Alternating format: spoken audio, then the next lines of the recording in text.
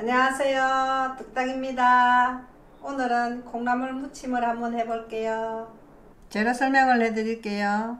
콩나물 500g 파프리카 100g 쪽파 6뿌리 청고추 3개 매실 액기스 1스푼 고춧가루 2스푼 들기름 2스푼 배, 무, 생강 접는 거 1스푼 국간장 1스푼 깨소금 한 스푼, 맛술 두 스푼, 천일염 반 티스푼, 간마늘 한 스푼, 후춧가루 약간 쓸게요.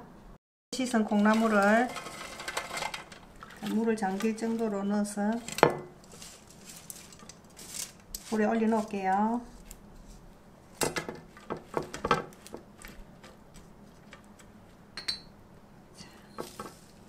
천일염 소금하고 맛술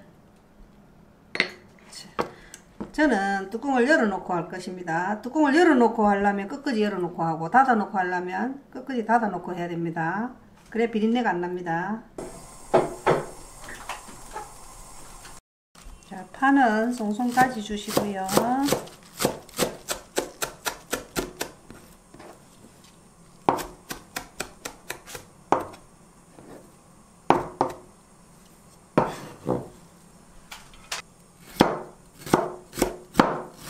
파프리카는 채쳐줄게요.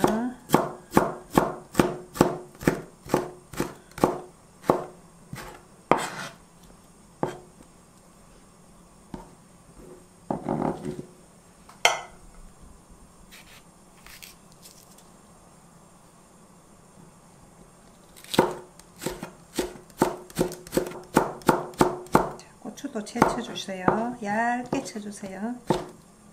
매운 거 싫어하시는 분은 아삭고추 넣으셔도 됩니다. 연한 고추 넣어도 되고요. 저는 끝고추입니다. 이거.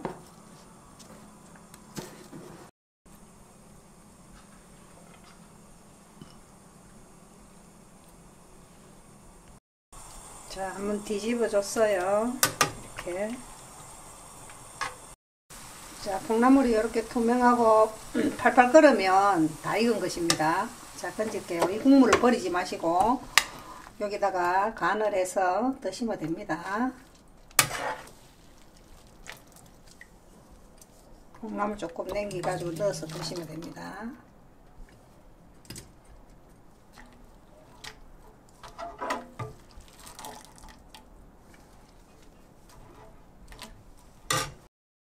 자, 얼음 물에다가 아삭한 식감을 주기 위해서 한번 조금 담가 놨다가 건질게요.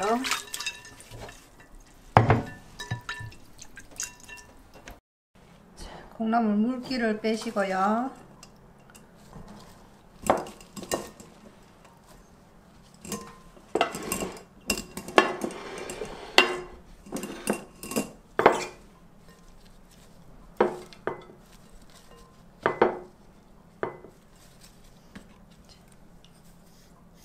고춧가루, 마늘, 네, 접입니다. 세 가지. 간장. 자, 들기름 넣었어요. 후춧가루.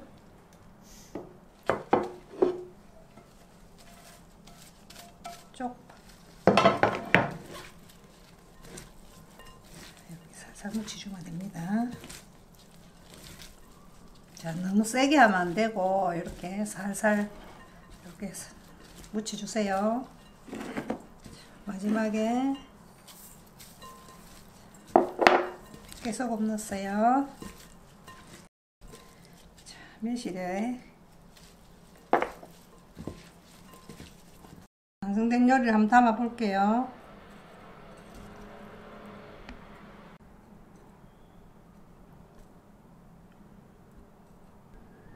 콩나물 무침 완성되었습니다.